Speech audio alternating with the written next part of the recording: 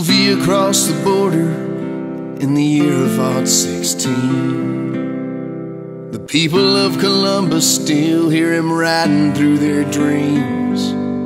He killed 17 civilians, you could hear the women scream. Blackjack Pershing on a dancing horse was waiting in the wings. Tonight we ride, tonight we ride. We'll skin old Villa Make shaps out of his hide, shoot his horse, see it's a laywise. His 27 bride. A free range West Texas aoudad hunt for big rams is something I've always wanted to do. My buddy from Midland, Jeremy Almager, was planning a trip with outfitter Carl Brosig on a place called the Long X Ranch south of Kent, Texas in the Davis Mountains, and I could not resist joining him. I got my good buddy Jesse Balboa to meet me in San Antonio as I left Corpus Christi. Jesse was going to run the video cameras on this trip. We took the scenic route on Highway 90 up to Marathon and the Alpine, and then we cut up to Fort Davis and eventually to the Long X Ranch after a 550 miles journey.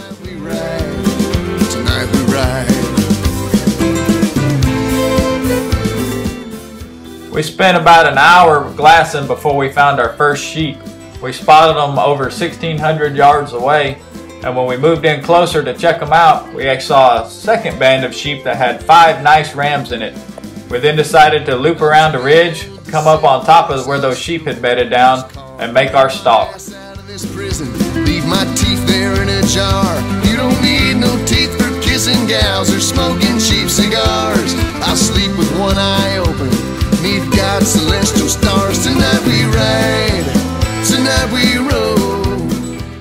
Our stalk was made extra challenging because we did not want to spook the first group of rams.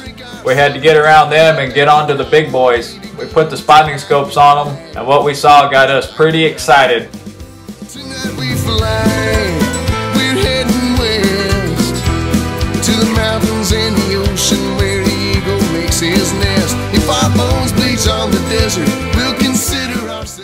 When we dropped off the ridge to find the five big rams that had bedded, they were nowhere to be found. They had slipped away undetected, and we spent the rest of the afternoon in vain trying to locate them. Some of the other hunters actually did see those sheep, and that's where we picked things up the next morning. After a three-hour climb on the second morning, we were all pouring sweat, but we were excited because at the top of the ridge, we were finding fresh signs of sheep. We found two dust wallows complete with tracks and some fresh droppings. At one point, I even thought I caught a whiff of sheep. We had stopped under one of the few shade trees in the area when guide Rob Brosig came back real excited. He had just peeked over the ridge and he could see some rams. We got ready and then we started bear crawling through a field of Spanish daggers and yuccas and we got set up across the canyon for a 232 yard shot. The sheep were still completely oblivious to our presence so we had ample time to get the camera rolling and to put the glasses on the sheep and start judging the rams.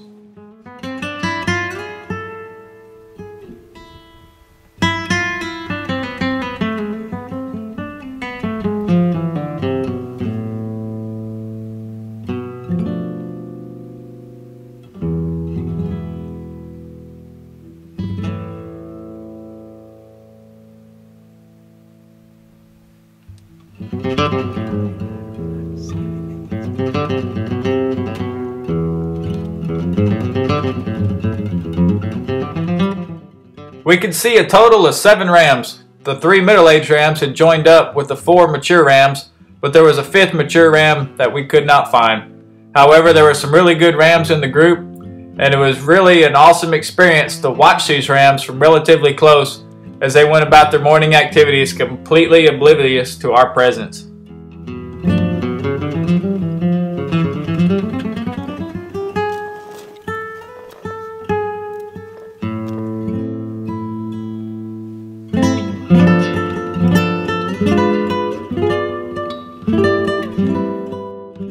My hunting rifle is an old Husqvarna 270 that my granddad gave me when I was 14 years old. I shoot the 130 grain Barnes TSX bullets when I know I'll need great penetration on big game. After I graduated and was working, I did update Peepaw's old Leupold scope with a new Zeiss. As I looked across the canyon at those rams, I felt like that Zeiss was money well spent.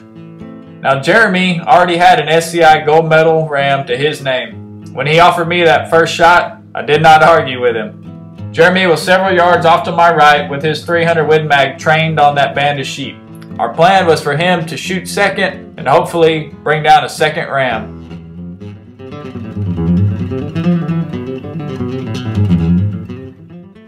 Several of the smaller rams had already fed over the bluff. As the big rams got up and started moving that direction, I knew it was game time.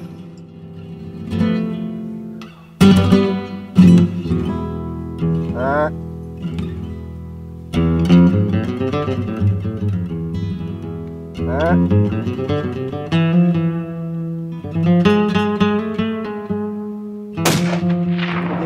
Reload, reload, reload. Stay on that sheet. Down.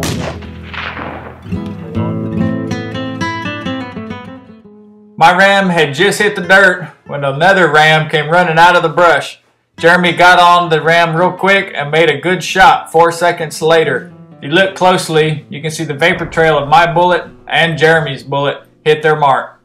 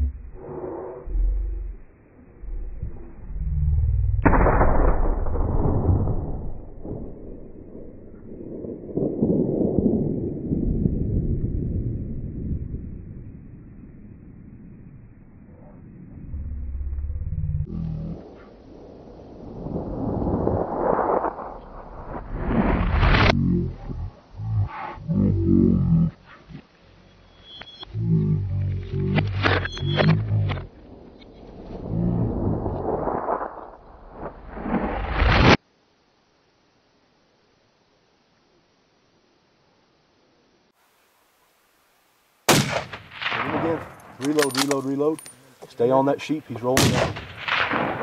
Stay on sheep. Keep watching. Keep watching. Slice, come here. Come here, Slice. They're both down. Keep watching your sheep. Just stay on him.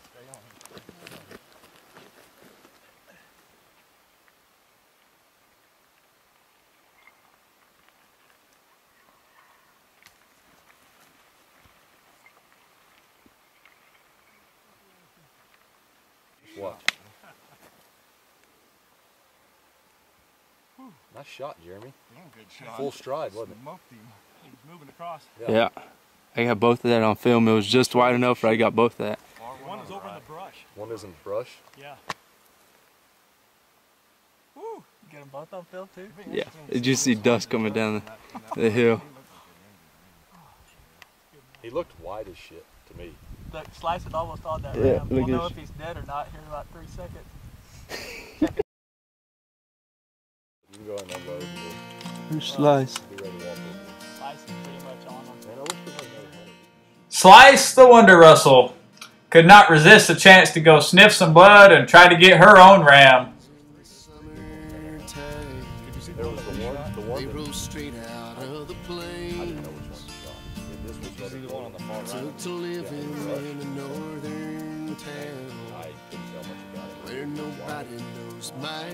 She's about to chase those two that are going. Oh, the damn rat. Your dog just got. Your dog just got hooked.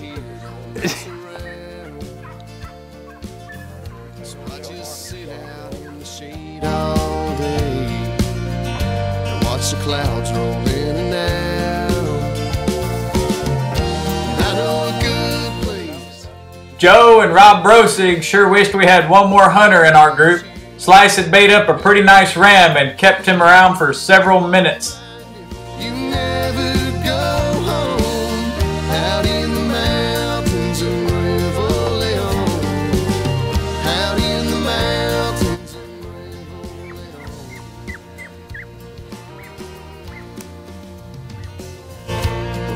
Got no margaritas here the Warrows pay enough. They got liquor in the grocery stores, and it's as cheap as the roads are round.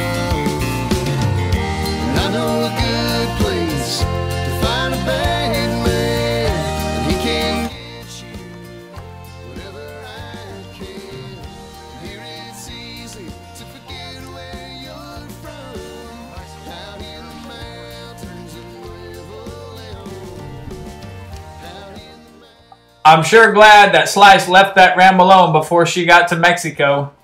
Earlier that morning, Jeremy and I each found a horseshoe on the trail as we hiked up the mountain. I told him that two horseshoes was double luck to get two big rams. Luck definitely smiled on us. We had two great rams, two happy hunters, two proud guides, and one tuckered out Jack Russell, along with a pumped up cameraman. I was still running on adrenaline when we finished up the three hour hike back down the mountain through the heat of the day, packing those sheep out. I got time for one more song.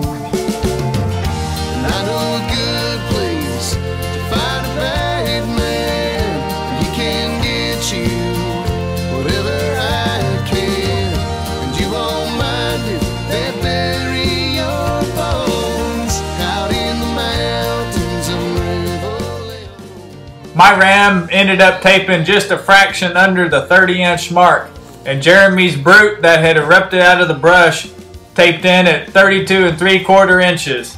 That's just the way hunting goes sometimes.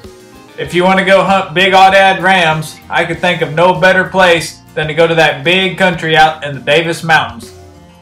Across the river in the summertime It rolled right on down the plain